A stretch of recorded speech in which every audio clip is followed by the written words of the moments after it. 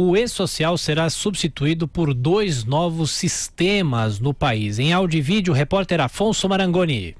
O e-social deve ser extinto em janeiro do ano que vem. A plataforma é utilizada por empregadores para a prestação de informações previdenciárias, trabalhistas e tributárias dos empregados. A informação foi divulgada pelo secretário especial de Previdência e Trabalho, Rogério Marinho, nesta terça-feira. De acordo com ele, o e-social vai ser substituído por dois sistemas: um para dados tributários e outro para informações trabalhistas e previdenciárias previdenciárias. Rogério Marinho disse que a mudança vai ser feita para diminuir a burocracia em até 50%. A ideia é termos um instrumento, uma ferramenta de gestão e de controle da área do trabalho da Previdência que seja amigável, por um lado, e, por outro lado, seja confortável tanto para quem precisa, que é o governo federal, para fazer a gestão pública, como quem é, tenha a, a, necessidade de passar essas informações. A plataforma foi criada em 2014 e começou a ser implementada no ano passado e atualmente o e-social tem cerca de 900 exigências que devem ser preenchidas pelos empregadores. Precisam fornecer as informações pessoas físicas que tenham empregados, pequenas e grandes empresas. A mudança no e-social tem que ser autorizada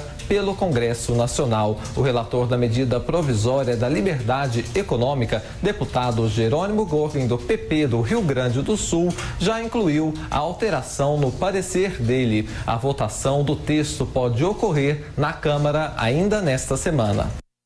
Denise. É, a busca de uma simplificação é sempre importante. Agora é ver se dois sistemas diferenciados não vão trazer mais complicação. Houve um exemplo claro do, do impacto da dificuldade do e-social quando houve a necessidade de se fazer declarações mais detalhadas em relação à situação dos empregados domésticos. Agora, hoje o sistema tem cerca de 900 exigências e eles pretendem promover através de portarias alterações já para que as pequenas empresas deixem de encarar todas essas exigências no curto curto prazo ainda neste ano. A simplificação é importante, a gente fala muito da questão da reforma tributária, de menos burocracia.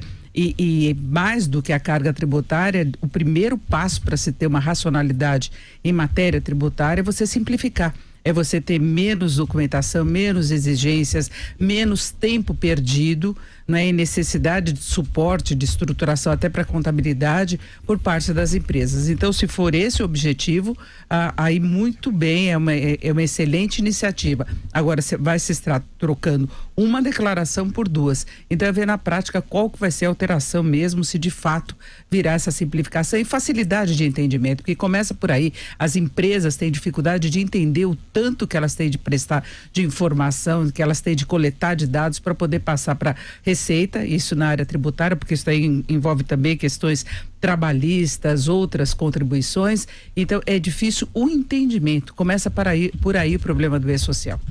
Diga, Bruno. É, são pontos interessantes que a Denise ressaltou e o segundo o Instituto é, Brasileiro de Planejamento Tributário, essas regras né, tributárias exigem das empresas na média 2.400 horas por ano então tem empresas, uma grande empresa que pode ter um andar inteiro com contabilistas, advogados tributários, etc., não sofrem tanto, podem assimilar esse problema. Mas a economia brasileira é formada, em sua maioria, por micro, pequenas e médias empresas. Não é essa a realidade. Isso atrapalha demais. O Estado brasileiro é muito intervencionista, as regras não são claras, são muitas regras, então é um problema geral. No caso do e-social, a, a, a ideia é reduzir de 900 informações hoje exigidas para 500 informações. É, quer dizer, é uma redução é, importante, mas ainda há 500 informações a serem preenchidas. E como a Denise falou, há esse problema também de é, dividindo em dois, é, no fundo, não ter esse ganho que se espera. E só para terminar, segundo o Índice de Liberdade Econômica feita pela Heritage Foundation, o Brasil, numa lista de 180 países, está na posição 150. E no Doing Business, que é o índice que mede a facilidade de fazer negócio, o Brasil está na posição 109, numa lista de 190 países. Então, é um ambiente extremamente hostil para a iniciativa privada e para a prosperidade. Josias. É inacreditável a capacidade que o governo tem de atrapalhar a vida dos brasileiros. Esse e-social ele foi inventado em 2014, levaram anos para implementar, para projetar, começou a ser aplicado no ano passado. As pessoas ainda nem se habituaram a ele e já vão criar dois novos sistemas. Com a criação desses dois novos sistemas, fica difícil de entender por que, é que não se concentrou num sistema só, mas com essa criação, o governo está dizendo que o e-social, no qual foram investidos eh, recursos humanos, recursos financeiros, não presta. Então, o e-social se transformou numa nova versão, no outro nome, para dinheiro público jogado fora. Assim age o Estado brasileiro. Agora, torça-se para o que vem por aí, para que esse sistema que vem por aí, dois no lugar de um, não seja pior do que a encomenda.